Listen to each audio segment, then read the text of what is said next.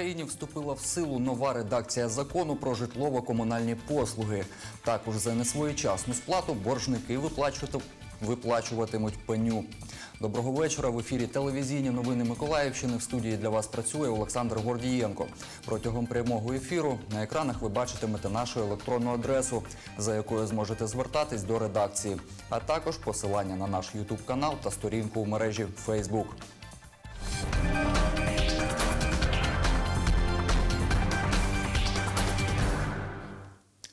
1 травня в Україні вступила в силу нова редакція закону про житлово-комунальні послуги, згідно якої споживачі щомісячно сплачуватимуть об- абонплату за опалення, гарячу та холодну воду.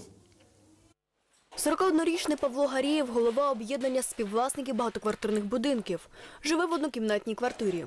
Розповів, якими комунальними послугами користується та скільки щомісяця сплачує за них. Води я споживаю на місяць десь 4 куби, це трохи більше 80 гривень. Електроенергії споживаю е, 150 кВт, це приблизно 175 гривень. І я не розумію, чому я повинен сплачувати за цю послугу більше, ніж те, що я сплачую по факту. Чоловік сплачувати абонплату не бажає. Це е, черговий крок нашої влади для того, щоб залізти поглибше людині в карман. Вибачте, але якщо я заходжу до супермаркету, е, щоб купити той чи інший продукт, я сплачую лише за ту послугу, яка мені була надана. Тобто за ту продукцію, яку я купляю. Е, Я не сплачую за те, що я заходжу в цей супермаркет. Може, нам ще потрібно зробити і в магазини е, платний вхід. Е, і тому, чесно кажучи, я не розумію і, е, саму, саму постановку цієї е, абонплати. От, я проти. Це не зможе поліпшити стан комунальної системи і нічого не зміниться на краще. Навпаки, на майбутнє вважаю, ну це моє особисте бачення, що підвищення тарифів можна буде замаскувати під підвищення абонплати, або підвищення тарифу, або підвищення і абонплати, підвищення і тарифу. Згідно закону України про житлово-комунальні послуги, абонплата запроваджується не на всі комунальні послуги. Вона запроваджується не для всіх комунальних послуг, а лише для частини. Так, е, закон визначає, що вона е, запроваджується для таких послуг, як е, холодне водопостачання та водовідведення, гаряче водопостачання та водовідведення та е, послуга з поставки тепла для населення. Послуги з водовідведення гарячого та холодного, а також тепла буде складати приблизно 30 гривень 68 копійок по моїм розрахункам. А що стосується послуги з вивезення твердих побутових відходів, то вона буде запроваджуватися в розмірі е, 14-15 гривень. Є обставини, за яких громадяни можуть не сплачувати абонплату. Закон визначає, що абонентська плата визначається у випадку, якщо між співвласниками та виконавцем послуги укладено тільки індивідуальний договір. У випадку, якщо співвласники відповідно до вимог цього ж закону визначать для себе, що вони е, хочуть обслуговувати відповідно до умов колективного договору, то така абонентська сплата не потребується і вона не буде. Абонплата спрямовуватиметься на відшкодування витрат виконавця, у тому числі на здійснення розподілу послуг між споживачами, на стягнення плати за спожиті комунальні послуги, на обслуговування розподільчих приладів та вузлів обліку. Світлана Кльосова, Юлія Кускова, Євген Сержук, телевізійні новини Миколаївщини. Також згідно закону України про житлово-комунальні послуги, за несвоєчасну їх сплату боржники виплачуватимуть пеню. Кожен день просрочення буде нараховувати пеню в розмірі 0,1%. Таким чином, при заборгованості в 5 тисяч гривень один день просрочення коштуватиме 50 копійок, місяць 15 гривень, три місяці 45. Пеня не може бути більше від самої суми заборгованості. Закон так він визначає, що з 1 травня 2019 року запроваджується пеня за несплату несвоєчасну сплату комунальних та житлових послуг.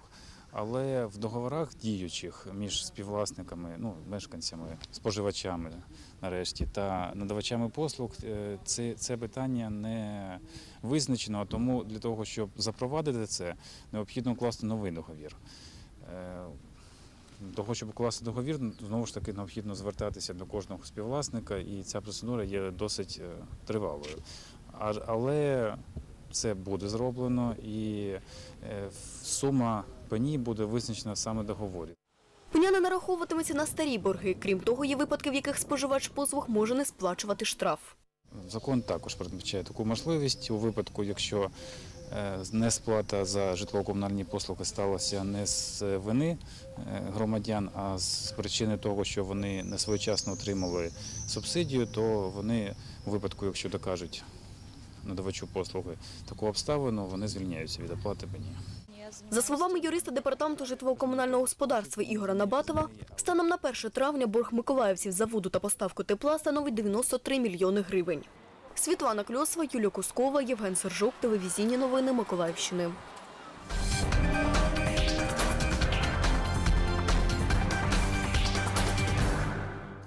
У Миколаєві відкрилась 26-та спартакіада по віру себе для дітей з інвалідністю. Змагання з бадмінтону стартували у фізкультурно-оздоровчому комплексі, що у мікрорайоні Намив. А змагання з настільного тенісу у дитячій юнацькій спортивній школі для осіб з інвалідністю.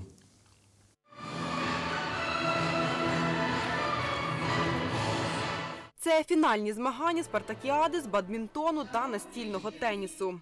Щоб попасти на ці змагання фінальні, вони проходили спочатку в школах спеціалізованих, е, потім в районах, в- в регіонах. І той, хто перемог всі ці змагання, приїхали сюди к нам на змагання.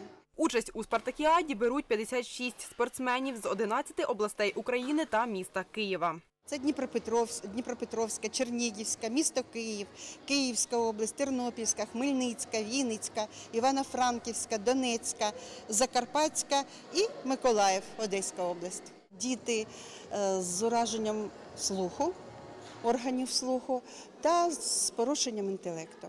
У спартакіаді беруть участь діти двох вікових груп 2004-2005 років народження і молодше 2006-2008 років. Андрій Дмитришин, головний суддя змагань із бадмінтону, говорить, слідкуватимуть за спортсменами на тенісних кортах чотири судді, а також секретар змагань. Е, Змагання е, будуть проходити е, перший етап по круговій системі. І переможці своєї групи виходять в фінал та розігрують перше місце. Нагородження проводиться окремо по старшій віковій категорії та меншій віковій. Головна суддя змагань з настільного тенісу Ірина Тимошенко говорить, змагання триватимуть по круговій системі. Ми граємо е, кожен з кожним. І виходить, там е, перші три е, місця, які займають в своїх підгрупах, виходять до фіналу. У фіналі діти змагаються з урахуванням е, зустрічей, які провели в підгрупах. Софія Чорноморова з Миколаєва має вади слуху. Бадмінтоном займається з п'яти років. Брала участь у чемпіонатах України, Європи та Ізраїлю. Первый раз я выступила в... Перший раз я виступала на повір у себе, коли мені було 10 років. Я вже третій рік абсолютна чемпіонка України в віці до 21 року. У минулому році я стала чотириразовою бронзовою призеркою чемпіонату Європи.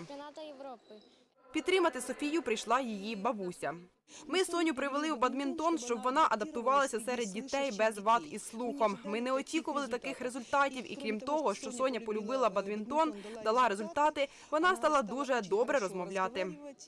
Денис Слободяник приїхав з Києва. Хлопець з вадами слуху та мови. Бадмінтоном займається 5 років. Я маю вже багато нагород за перші місця. Е, Друге місце я дуже рідко займав. Взагалі тільки перші місця. Змагання триватимуть три дні. 16 травня відбудеться нагородження переможців. Вікторія Андрушків, Олександр Попов. Телевізійні новини Миколаївщини. І поки це були всі новини. Наступний випуск дивіться о 19-й. На все добре.